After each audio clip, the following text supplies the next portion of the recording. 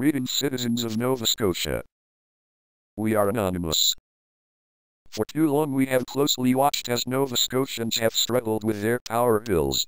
We have watched as they have had to make tough choices between power, food, heat, mortgages, and other costs of living.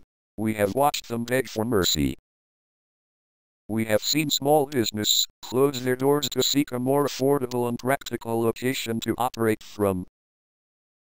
At ever increasing rates, Nova Scotians are fleeing our beautiful province, their homes, their families, to find work in other parts of the country. Anonymous is not happy to see single parents, seniors, students, and those living with disabilities make cruel and uncalled for sacrifices in order to continue lining your pockets.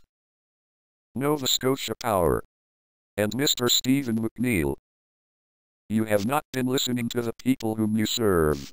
You have not been answering some very important questions. So, now, Anonymous has some questions for you too. Nova Scotia has had enough. It is now time for you to take note of our demands. 1. Cooperate with the people of Nova Scotia to find a reasonable and balanced rate. 2. Commit to not disconnecting Nova Scotians who are unable to pay their outrageous power bills. 3.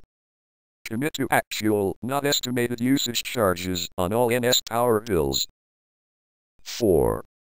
Commit to a five-year wage freeze for all corporate members including cutting corporate kickbacks and CEO bonuses.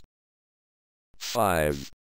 Stop blocking citizens from posting on your social media pages and respond to their emails. Transparency is of the utmost importance. 6. Come clean to Nova Scotia. We have information that will confirm this corruption and more coming to us every day. This video is being viewed by the 900,000 citizens of Nova Scotia, the 5,000 members of the Stand Up to Nova Scotia Power Facebook group, as well as anonymous hives worldwide. And we intend to make an example of you. We are here to take the power back. Consider yourself warned. We are anonymous. We are legion. We do not forgive. We do not forget. McNeil. Nova Scotia Power.